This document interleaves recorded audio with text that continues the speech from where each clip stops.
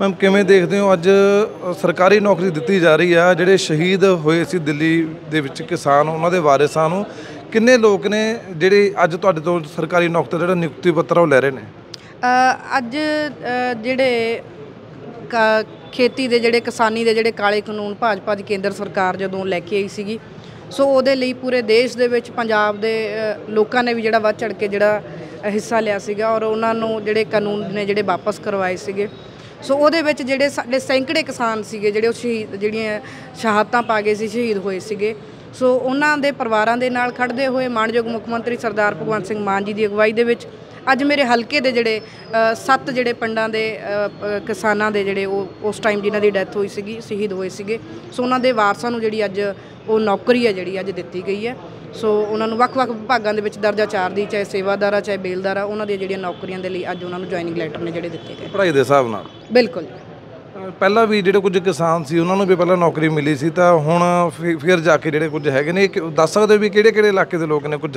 ਹਾਂ ਇਹ ਕਿਉਂਕਿ ਅ, ਕ- ਕੁਛ ਕੁ ਚੀ- ਅ, ਕੇਸਾਂ ਦੇ ਵਿੱਚ ਜਿਹੜੀ ਦਿੱਕਤ ਆ ਜਾਂਦੀ ਆ ਕੋਈ ਜਿਹੜੀ ਇਨਕੁਆਇਰੀ ਦੇ ਵਿੱਚ ਜਿਹੜਾ ਜਿਵੇਂ ਅੱਜ ਵੀ 8 ਨੂੰ ਦੇਣੇ ਸੀਗੇ ਜਿਹੜੇ ਚੰਗਾਲ ਪਿੰਡ ਦੇ ਸੀਗੇ ਉਹਨਾਂ ਦੇ ਵਾਰਸ ਸੀਗੇ ਉਹਨਾਂ ਦੀ ਵੀ ਤਕਰੀਬਨ 1 ਸਾਲ ਪਹਿਲਾਂ ਜਿਹੜੀ ਡੈਥ ਹੋ ਗਈ ਸੋ ਉਹਨਾਂ ਦਾ ਦੁਬਾਰਾ ਕੇਸ ਜਿਹੜਾ ਬਣਾ ਕੇ ਜਿਹੜਾ ਭੇਜ ਰਹੇ ਆ।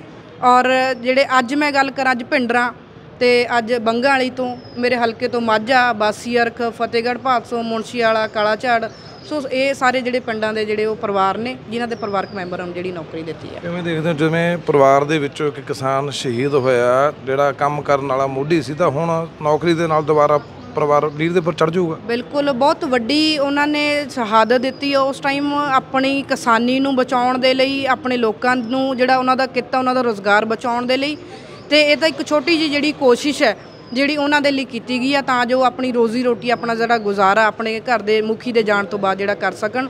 ਤੇ ਮੈਂ ਹਮੇਸ਼ਾ ਆਪਣੇ ਲੋਕਾਂ ਦੇ ਨਾਲ ਖੜੀ ਹਾਂ ਤੇ ਮੈਂ ਇਹਨਾਂ ਨੂੰ ਵਿਸ਼ਵਾਸ ਦਿਵਾਉਂਦੀ ਹਾਂ ਕਿ ਇਸ ਤੋਂ ਬਿਨਾਂ ਵੀ ਇਹਨਾਂ ਪਰਿਵਾਰਾਂ ਦੇ ਨਾਲ ਮੈਂ ਹਮੇਸ਼ਾ ਮੋਢੇ ਨਾਲ ਮੋਢਾ ਲਾ ਕੇ ਜਿਹੜਾ ਖੜੋਗੇ।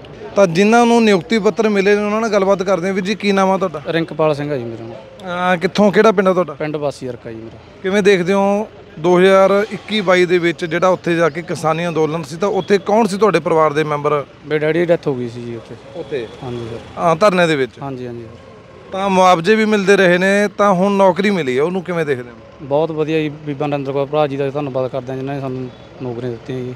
ਠੀਕ ਹੈ। ਲੱਗਦਾ ਵੀ ਹਾਂ ਹੁਣ ਜਦੋਂ ਨੌਕਰੀ ਹਰ ਮਹੀਨੇ ਖਾਤੇ 'ਚ ਤਨਖਾਹ ਪੈਣੀ ਆ ਤਾਂ ਦੁਬਾਰਾ ਜਿਹੜਾ ਹੈਗਾ ਗੱਡੀ ਲੀਹ ਤੇ ਚੜ ਜਾਂਦੀ ਆ ਪਰਿਵਾਰ ਨੂੰ ਆਸਰਾ ਮਿਲਦਾ। ਬਿਲ ਬਿਲਕੁਲ ਸਰ ਬਹੁਤ ਵਿੱਤੀ ਸਹਾਇਤਾ ਹੋਊ ਜੀ ਇਹਦੇ ਨਾਲ ਪਰਿਵਾਰ ਦੀ। ਬਹੁਤ ਕਿੱਥੇ ਦਾ ਨਿਯੁਕਤੀ ਪੱਤਰ ਮਿਲਿਆ ਤੁਹਾਨੂੰ? ਨਹੀਂ ਸਰ ਇਹਦੇ ਬਾਰੇ ਹਜੇ ਪਤਾ ਲੱਗੂ ਖੇਤੀਬਾੜੀ ਮਹਿਕਮੇ ਦਾ ਹਜੇ ਮਤਲਬ ਉਹ ਹੋਣਾ ਤੁਹਾਨੂੰ ਹਜੇ ਫਾਈਨਲ ਹੋ ਗਿਆ ਵੀ ਨੌਕਰੀ ਤੁਹਾਡੇ ਦੇਤੀ ਉਹ ਜਿੱਥੇ ਭੇਜਣਾ ਉਹ ਤੁਹਾਨੂੰ ਹਜੇ ਪਤਾ ਲੱਗੂ। ਹਾਂਜੀ ਹਾਂਜੀ ਸਰ ਉਹ ਖੇਤੀਬਾੜੀ ਮਹਿਕਮੇ ਦਾ ਤੁਹਾਡਾ ਕੀ ਨਾਮ ਹੈ ਵੀਰੇ? ਵੀਰੇ ਲਾਡੀ ਸਿੰਘ। ਲਾਡੀ ਜੀ ਕਿਵੇਂ ਦੇਖਦੇ ਹੋ ਜੇ ਨੌਕਰੀ ਤਾਂ ਤੁਹਾਨੂੰ ਹੱਥ ਦੇ ਵਿੱਚ ਪੱਤਰ ਫੜਾਇਆ ਗਿਆ ਸਰਕਾਰੀ ਦਾ? ਹਾਂ ਜੀ ਬਹੁਤ ਵਧੀਆ ਹੈ। ਨਰਿੰਦਰ ਕੌਰ ਦਾ ਬਹੁਤ ਧੰਨਵਾਦ। ਅੱਛਾ। ਕਿਵੇਂ ਜਿਵੇਂ ਹੁਣ ਦ- ਇੰਨੇ ਟਾਈਮ ਬਾਅਦ ਜਾ ਕੇ 2 ਜਾਂ 2.5 ਸਾਲ ਬਾਅਦ ਤੁਹਾਨੂੰ ਨੌਕਰੀ ਦੀ ਸੰਤੁਸ਼ਟੀ ਮਿਲੀ ਆ ਤਾਂ ਹੁਣ ਲੱਗਦਾ ਵੀ ਪਰਿਵਾਰ ਵਧੀਆ ਚੱਲ ਜਾਊਗਾ? ਵਧੀਆ ਚੱਲ ਜੂਗਾ ਜੀ ਪਰਿਵਾਰ। ਸੌਖ ਹੋ ਜਾਊਗੀ? ਹਾਂ ਜੀ। ਮਹਿਕਮਾ ਕਿਹੜਾ ਲੱਗਿਆ ਪਤਾ ਹੁਣ ਤੱਕ? ਚੌਂਕੀਦਾਰ ਮਿਲਿਆ ਜੀ। ਚੌਕੀਦਾਰ ਮਿਲਿਆ। ਹਾਂ ਜੀ। ਚਲੋ ਕੁਝ ਵੀ ਆ ਤੁਹਾਡੀ ਪੜ੍ਹਾਈ ਲਿਖਾਈ ਕਿੰਨੀ ਆ? ਪੰਜ ਬੜੇ ਦੀ ਬਹੁਤ ਧੰਨਵਾਦ ਜੀ ਇਹਨਾਂ ਨੇ ਜਿਹੜਾ ਸਾਨੂੰ ਦਿੱਤੇ ਪੈਣ ਸੁਭਾਅ ਕੀ ਕੀ ਉਹਨਾਂ ਤੋਂ ਬਾ- ਤੁਹਾਡੇ ਪਤੀ ਤੋਂ ਬਾਅਦ ਘਰ 'ਚ ਕੋਈ ਕਮਾਉਣ ਵਾਲਾ ਹੋਰ ਜੀ ਹੈ ਨਹੀਂ ਸੀ? ਅੱਛਾ ਕਿੰਨੇ ਬੱਚੇ ਨੇ ਤੁਹਾਡੇ? ਕਿੰਨੇ ਕਿੰਨੇ ਕੁ ਉਮਰ ਦੇ ਨੇ? ਕੀ ਕਰਦੇ ਨੇ? ਚਾਰ ਬੱਚੇ ਨੇ। ਅੱਛਾ ਜੀ। ਅੱਛਾ ਜੀ। ਸਾਰੇ ਛੋਟੇ ਨੇ ਹਾਲੇ? ਕਿਹੜੇ ਡਿਪਾਰਟਮੈਂਟ ਤੁਹਾਨੂੰ ਨੌਕਰੀ ਮਿਲੀ ਹੈ? ਕਿਹੜੇ ਵਿਭਾਗ 'ਚ ਤੁਹਾਨੂੰ ਲਾਇਆ ਗਿਆ? ਹਲੇ ਕੁਝ ਨਹੀਂ ਪਤਾ ਜੀ ਕਹਿੰਦੇ ਖੇਤੀਬਾੜੀ ਮਹਿਕਮੇ ਚ ਜਾਊਗੀ ਉਹ ਦੱਸੂਗੇ ਅੱਛਾ ਜੀ। ਕਿੱਥੇ ਨੌਕਰੀ ਕੀ ਕਹਿਣਾ ਚਾਹੁੰਦੇ ਹੋ ਪ- ਮੁੱਖ ਮੰਤਰੀ ਦਾ ਕੀ?